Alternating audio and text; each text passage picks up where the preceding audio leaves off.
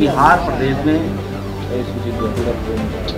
शोषित पीड़ित दलित वंचित समाज के जब प्रखंड में थाने में उसकी बात नहीं सुनी जाती है तो भारतीय जनता पार्टी का कार्यालय दफ्तर खुला रहता है और कहीं लिखित आवेदन देने की ज़रूरत नहीं होता है अपनी बात को पार्टी के दफ्तर में आकर के कार्यक्रम सहयोग के माध्यम से अपनी बात को कह करके और त्वरित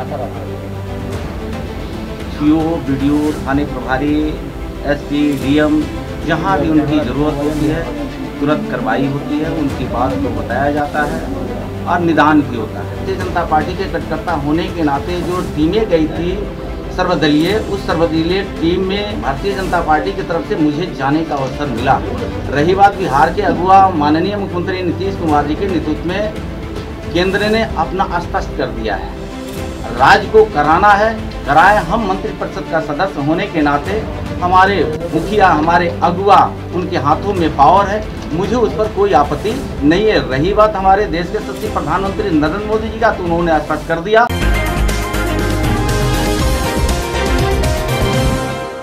नमस्कार, मैं अभिषेक। आप देख रहे हैं एनबीसी 24 न्यूज़ पटना के बीजेपी कार्यालय में लगातार सहयोग कार्यक्रम लग रहा है। एक बार फिर से आज बीजेपी कार्यालय में सहयोग कार्यक्रम लगा, जिसमें बिहार के दो मंत्री मौजूद थे। वहीं बता दें आपको कि जनक राम और दूसरे मंत्री शहनवाज हुसैन मौजूद थे। वहीं जनक राम से तमाम मुद्दों पे हमने बात की। वहीं जनक राम ने बताया कि बिहार में लगातार जो समस्या है, उसको सुनने के लिए हम सहयोग कार्यक्रम लगाते हैं। वहीं फरियादी तमाम अनेक ज़िले से आते हैं और उसका फरियाद हम सुनते हैं और वहीं निराकरण करते हैं। वहीं जब महँगाई पर सवाल किया गया जनक राम से तो उनका साफ़ साफ़ कहना था कि महँगाई बढ़ रही है, लेकिन कहीं ना कहीं देखा जाए तो सरकार जो महँगाई है उस पर ध्यान दे रही है और लगातार महँगाई को कम करने की भी जो काम है वो सरकार कर रही है। वहीं क्या कुछ कह रहे हैं? जनक राम वो सुने आप लोग।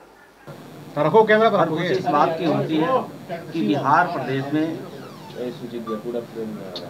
शोषित पीड़ित दलित वंचित समाज के जब प्रखंड में थाने में उसकी बात नहीं सुनी जाती है तो भारतीय जनता पार्टी का कार्यालय दफ्तर खुला रहता है।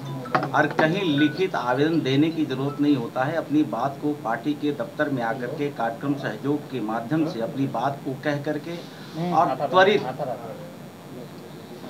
सीओ वीडियो थाने प्रभारी एसपी डीएम जहाँ भी उनकी ज़रूरत होती है तुरंत कार्रवाई होती है। उनकी बात को बताया जाता है और निदान भी होता है।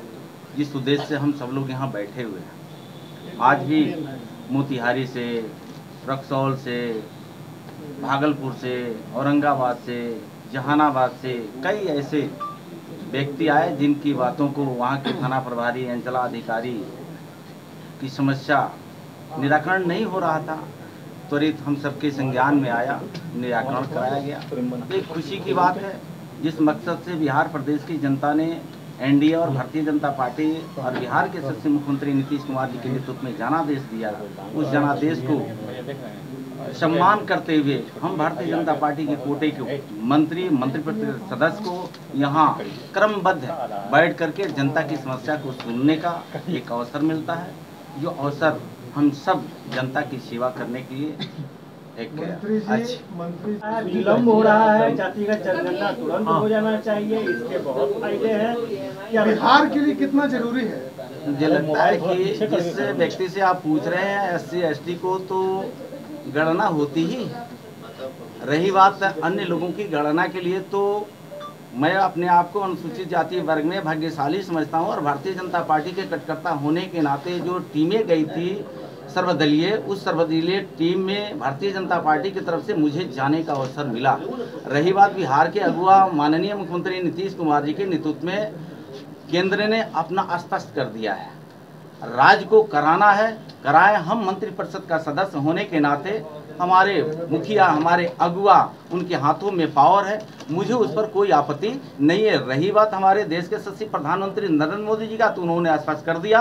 और देश की जनता और प्रदेश की जनता, प्रदेश के और देश और देश के सचिव प्रधानमंत्री नरेंद्र मोदी जी के निर्णय के तरफ़ वो एक टक लगा करके देख रही है। मुझे लगता है कि ये कार्य क्षेत्र जो बिहार प्रदेश का होता है, आपका भी निर्णय होता है। बीजेपी सपोर्ट करेगी? जातिगत जनगणना। मैंने तो बताया, मुझे भी जाने का अवसर मिला था और देश के सचिव प्रधानमंत्री और भारत सरकार ने अपने विचार को स्पष्ट कर दिया। चाहता हूँ कि जिस परिवार से मैं आता हूँ, जो हम शेड्यूल कास्ट में अनुसूचित जाति और चमार वर्ग से, आज से 10 साल पहले उनको घर में खाने की रोटी नहीं होती थी। उनको अच्छे क्वालिटी का मकान नहीं होता था। उनको बस्ती में चलने की रास्ता नहीं होती थी। उनकी तबीयतें खराब हो जाती थी तो इलाज के लिए पैसा नहीं होता था। वो सस्ते का जमाना आपको याद दिलाना चाहता हूँ, पूर्ववर्ती सरकार की, या राज्य की सरकार रही हो या केंद्र की सरकार हो। ये दलित और ओबीसी और माइनॉरिटी शेड्यूल कास्ट के लोगों को रहने का और खाने का अन्न नहीं मिलता था। लेकिन आज धन्य है देश के प्रधानमंत्री जो आपके माध्यम से या प्रदेश में विपक्ष के लोगों ने, जो गरीबों को गरीबी की, हटाने की बात नहीं करते हैं और महँगाई के ऊपर जाते हैं। आज यही बिहार प्रदेश है। एक भी गरीब, दबे कुचले वंचित समाज। मैं उसको सम्मान करता हूँ, लेकिन आज गरीब मैं जब राजनीतिक शुरू किया था तो उस समय बिस्किट भी नहीं मिलता था दलितों के घरों में खाने के लिए। ये आज हालात बदलाव आया है।